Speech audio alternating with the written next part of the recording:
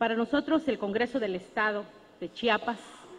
hoy precisamente este día, terminamos un año, concluimos un año de trabajo y lo concluimos bien, compañeros. Mañana inicia un nuevo año y empezamos con el pie derecho. En este mismo mes nos unimos a México y hoy precisamente en el mismo mes, en septiembre, Chiapas se convierte a ser el eslabón de unir una vez más a México con Centroamérica. Saludo sinceramente al diputado presidente del Honorable Congreso del Estado de Chiapas, Luis Fernando Castellanos Calimayor, diputado Neftalí del Toro, presidente de la Junta de Coordinación Política. Saludo muy especial a mi querido amigo el diputado Leonel Vázquez Búcaro, presidente del Parlacén, representante de la República del Salvador. Al licenciado Sergio Aquino López, subsecretario para el Desarrollo de la Frontera Sur y enlace para la cooperación internacional. Señoras y señores legisladores de la República de Guatemala, del Salvador, República de Honduras, República de Nicaragua, República Dominicana, República de Panamá, compañeros diputados de la sexagésima quinta legislatura del Congreso del Estado, amigos y compañeros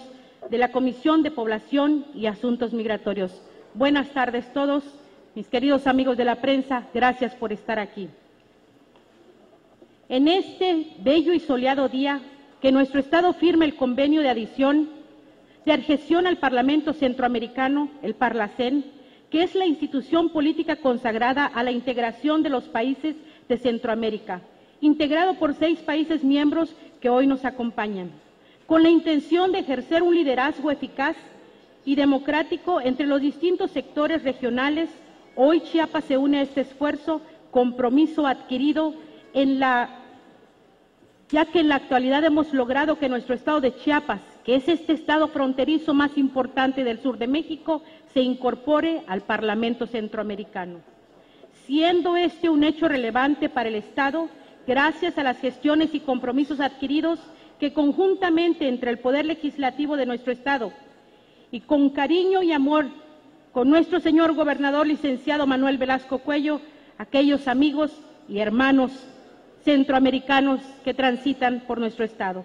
Hemos obtenido con este noble suceso que nuestro Estado de Chiapas y el Parlacén puedan conjuntamente trabajar en equipo a favor de los migrantes, protegiendo sus derechos humanos, como son en materia de educación, salud y laboral en el tránsito de los migrantes, como ya se ha manifestado en otras ocasiones en Proyecto Yucatán y en Proyecto Mérida, que buscan la cooperación de seguridad y desarrollo de la región,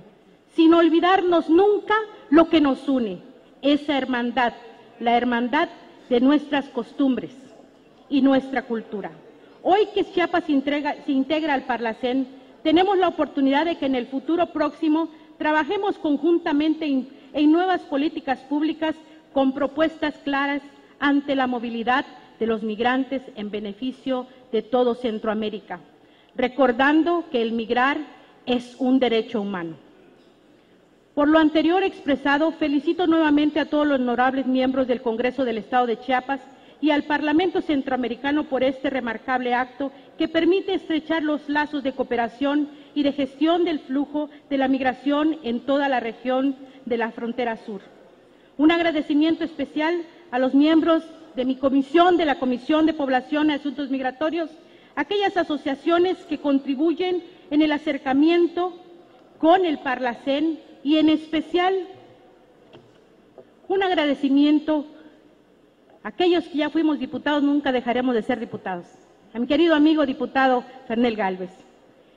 También a la Fundación Mi Paz, ULFO, Fundación por Chiapas, la Fundación FPSN, porque ellos apoyaron a ese gran acercamiento que hoy se convierte en una realidad. Agradecemos así también a las secretarías del Gobierno del Estado de Chiapas, que en cada una de ellas tiene programas que apoyan a cada uno de los migrantes, recordando también que como Comisión de Población Asuntos Migratorios no solamente atendemos al migrante de tránsito, sino también sentimos el mismo amor por nuestro migrante chapaneco que se encuentra en otros estados de México, así también como en otras partes del mundo. Y unificando ese cariño y amor que tenemos por nuestros chapanecos, así también sentimos ese cariño y amor por nuestros amigos y hermanos centroamericanos. Muy buenas tardes.